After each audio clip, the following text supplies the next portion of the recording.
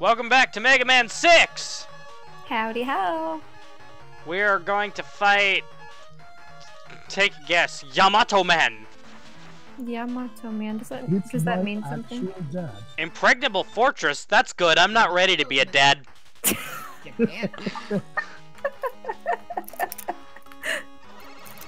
Oh my Oh, man. gosh.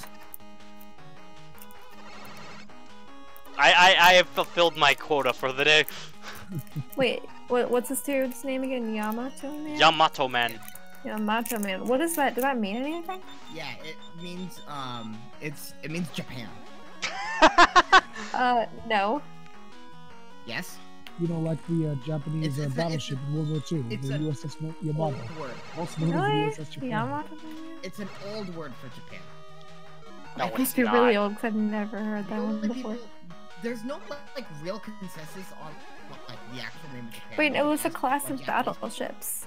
The Yeah, Japanese it's Marines. uh, it's No, it was based off the World War Yeah, II battleship. My Wikipedia, my German Wikipedia. Oh, wait, no, I just looked it up. War eine Klasse von fünf Schlachtschiffen der japanischen Marine, von denen aber nur die ersten beiden. So I'm reading this right. I'm, I'm reading this right here. It says Yamato basically represents Japan itself. To some Japanese, Yamato is home. It was originally a province in early Japan where it was the center of Japanese cultural and political activities. So it's like a very meaning-heavy word in Japan, but it doesn't necessarily mean Japan. It just It's represents a lot of Japan. It's an old word. I mean, okay, so Mega Man's already a pretty Japanese series, but like it's worth noting that all these robot masters are like different nationalities and whatnot. They're from like different parts of the world. Is? Wonder which one's the American one. This one was pretty obvious. It's yeah, it's Plant Man. Wait, where was Plant Man from? I'm looking it up right now, actually. Yeah, that that'd be interesting. I don't want to assume based off of stereotypes. Um, okay, Plant Man. I'm trying to and I can't.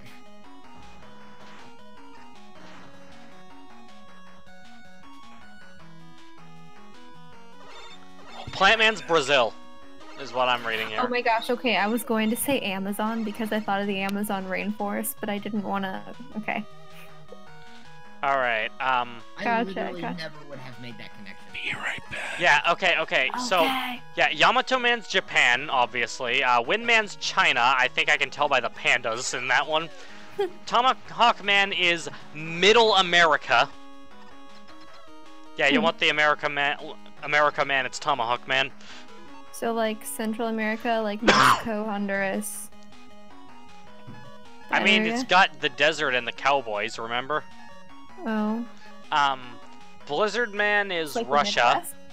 Flame Man is Hmm. Saudi Arabia. Centaur Man is Greece.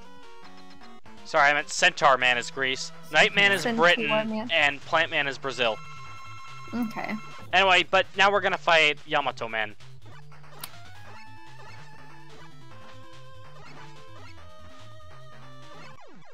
And wow, he went down really quickly.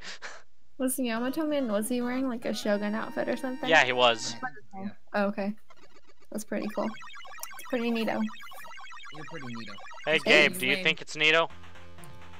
Gabe said be right back a little bit ago. Oh, okay. Er ist weggegangen. Right, Will? I don't know what you just said. I don't know I what you said said. He, I said he went away. He went away. He went away. Oh, It sounds- okay. You can say it cuter in English than in German. or you could say er ging weg. That's kind of cute. That's cool. What? Cute. Next time on Smash Team Games, uh, Gabe comes back. Does that sound right? Smash Team Gabe. Smash.